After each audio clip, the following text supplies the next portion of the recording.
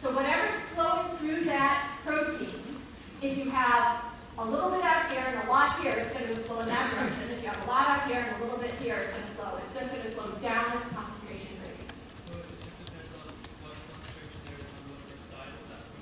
So yes, exactly.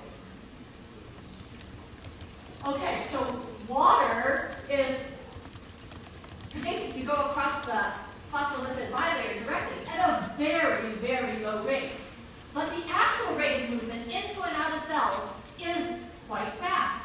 And in fact, while I was taking biology, this was a conundrum. We didn't really know why it went so fast across the membrane, but it did. And then in 1992, Peter Agre and his colleagues identified the first aquaporin protein, and based on its name, aqua, and porin, right, water pore, that this actually is the protein that is an aquaporin channel that regulates water flow across the membrane of both animal and plant cells.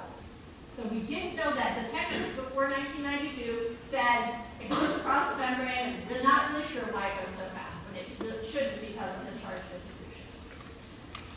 Okay, so here I've uh, taken the diagram that we had before. Now, this is not a solute, but I'm calling this water, and water is flowing through this channel.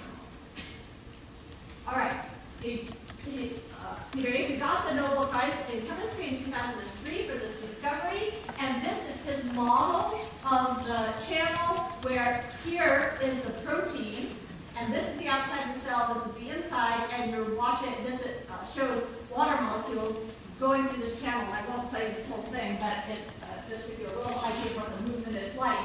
It's, I always thought of it as like water pouring through an open uh, pipe, but it's not really like that. Here we have water molecules that are going through a very restricted region, and they're kind of bumping along, and there are, cell, there are molecules that are moving in, some that move out a little bit, but what we're watching here is this yellow one is a water, and it's colored yellow so you can follow it, and as you can see, as this movie proceeds, it's moving in this direction, so we know that the concentration gradient, there must be more water out here than in here.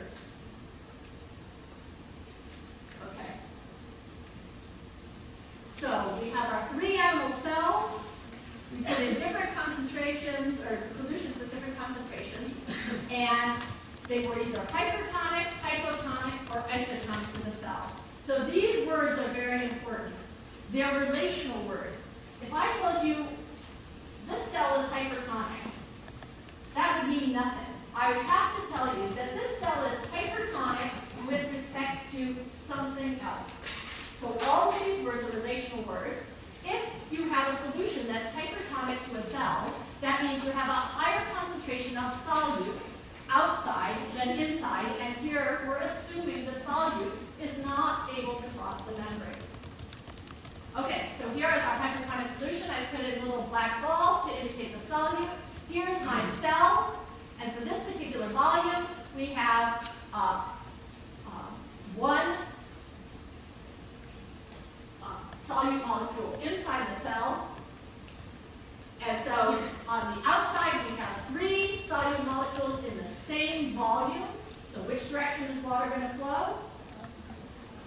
Out, because you want to have the molecules the same on the inside and the outside. So water flows out to try and dilute out the outside concentration. Okay, hypotonic to the cell means you have a lower concentration of solute out than in. So we have a low concentration of solute out and a high in, and therefore in the same volume, right, we see a single solute molecule compared to four, and therefore we know that water flows in.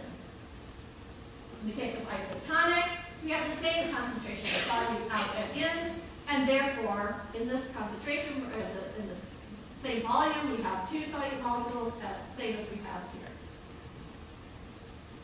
So sometimes actually drawing things like this out uh, helps you understand the principle. And this is a principle that you shouldn't have to memorize,